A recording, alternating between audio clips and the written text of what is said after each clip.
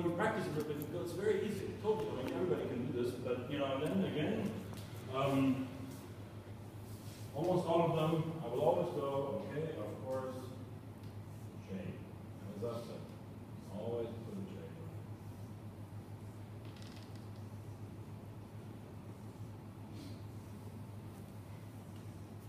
Sometimes you have a good statement where you, where you want to have um, several off, you know, you, um, you just have simple this, and you just add, looks like a stack of it. You know, sometimes that's appropriate for whatever your text, text is. Again, put some shade here. Done. And then when you get fancy, I do things like, well, okay, the masking tape is very often yellow, so uh, it's it's like a little more orange. That doesn't matter, you know.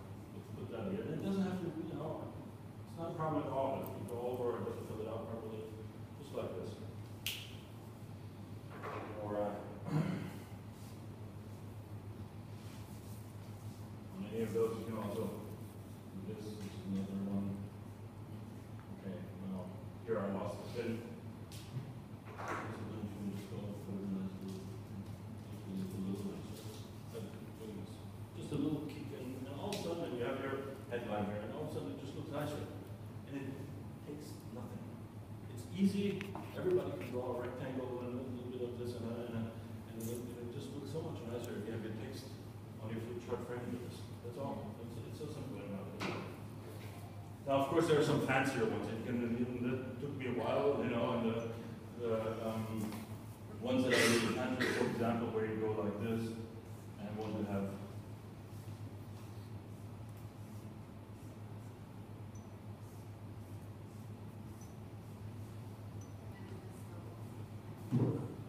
Okay, and so you have some kind of a, uh, see, now I did it wrong here.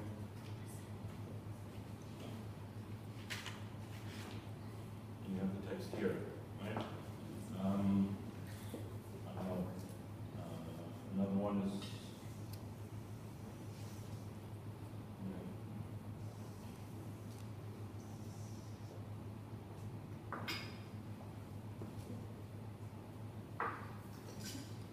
You look at a little bit how it works, it's just a few lines and you can easily do it. But These are again and again just different text containers.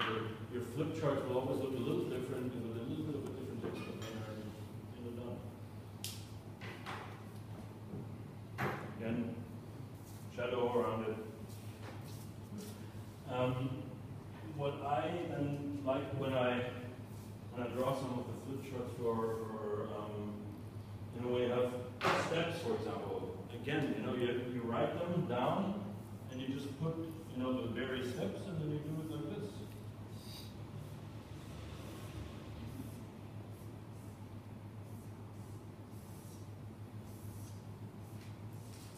Three steps in the process. Put shade on it, of course. Of course.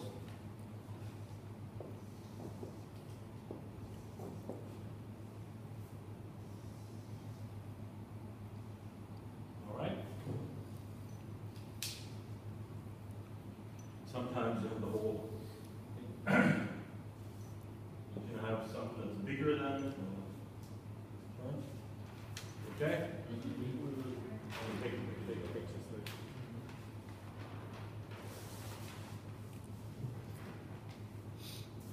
Um, you wanna- yeah, I see.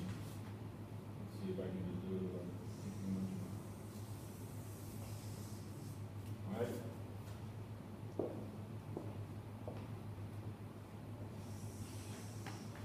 And then just basically here, here.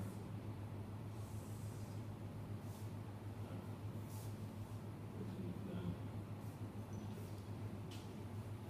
roll. Understood. And then you can have all kinds of stuff in here. Again, shade here, I'm writing on, this is what I hate. Uh, That's exactly what I talked about. So I didn't prime my pen properly, I need to refill it. Um, put some shade on it. Now, one of the things that if you get fancy, which really is nice, if, you know, if you do it at home, then, you know, prepare is um, when you then start using more colors. Um, is that somewhere? The easy way is to just get some crayons, these blocks. yeah? And uh, you just go, I mean, you have text in there, so say, you know, say,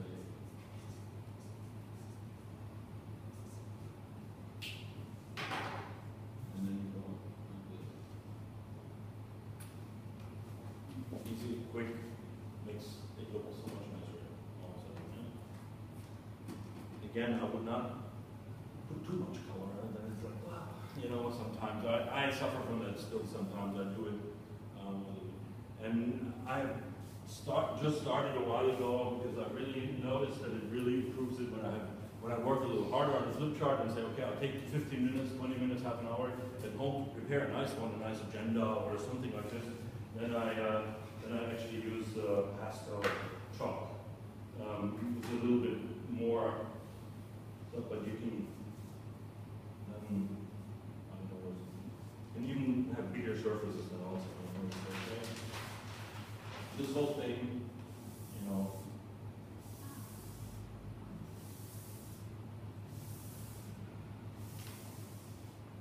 It's green. Of course, it was text in it first, as I said, you know, I can write with text, and then you can make it look nicer to That's something that I just only recently learned, the artists. Yeah, I mean, I'm not gonna do the whole thing, but you can imagine, you have text in there, this really, on a big surface, makes it nice. And you do that. You, I, I have some paper on the side, so I can clean my fingers. Yeah, uh, so I think that's the bottom line, is really text and containers. And the last one that I of course forgot, I always tell everybody, no flip chart without frame itself. I'm a big fan of always doing this.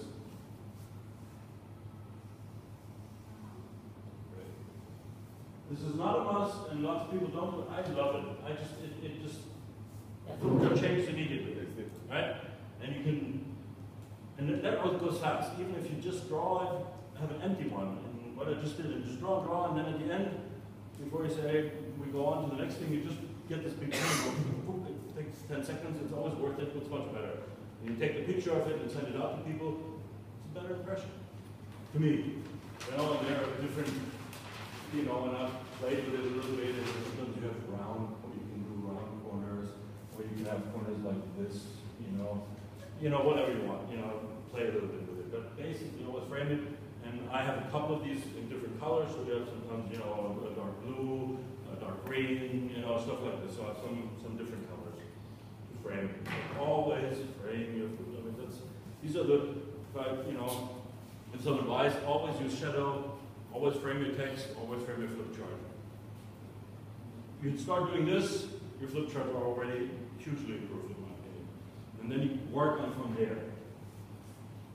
Uh, is there anything else I wanted to mention? Ah, yeah, of course, people. I mean, that's, that's the next important thing. You, you draw teams, you draw a manager, you draw whatever, and it's often people that you draw on. Um, that's much harder generally. You go, "Ooh, what do I do to draw a person? And I'm not, you know, again, not the, not the artist. I have no idea how to do it, so um, there's this very simple, there are very many, actually, many simple ways. And the, the most commonly used, I call it the uh-oh, the uh-oh, because all you do is a uh-oh. That's all you need for a person. But you turn, you turn the U around, go like this, like this, and you're in the person. Oh, yeah? Turn around you and, and and again, shadow, where with people, I like to work with color a little bit. Often I, you know, keep the same color for the same type, you know, the managers always blue maybe, or this or that. And here I put it inside, you know, it's like, you often, uh, you know, the shadow inside. Because the more round surface, and you can imagine the shadows. And there's a person. Easiest, that's the easiest one. Um, if you want um, legs, I think you can have, uh, add the W. O U, and then you have, have the legs. Add it to it. And the W. And again.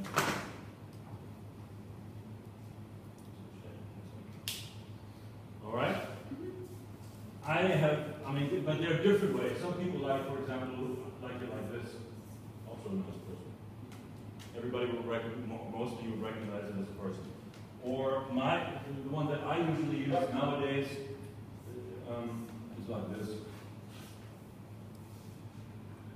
And sometimes you can even just go like this. It's also clear. Right?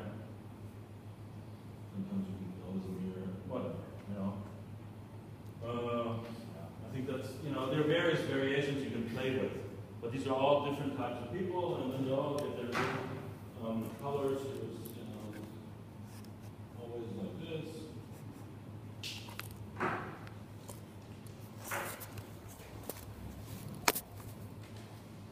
This here. Okay, and then you want to have groups of people. That's often the team, you this team, and then you just go with these here. You often have this.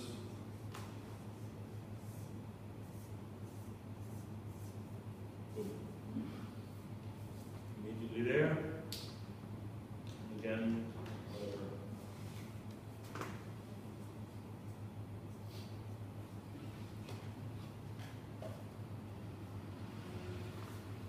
And we're done. When I, when I the, one that I use here, I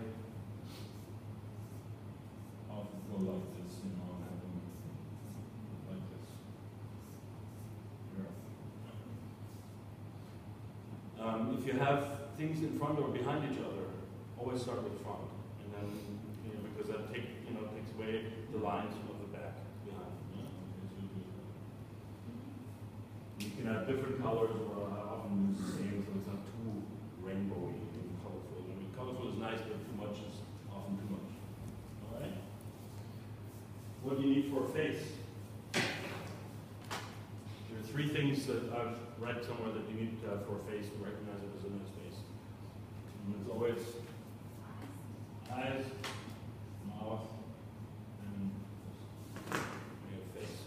And you, you can vary it, you know, and you can have eyes with a dot. Of course, you have them like this and like this.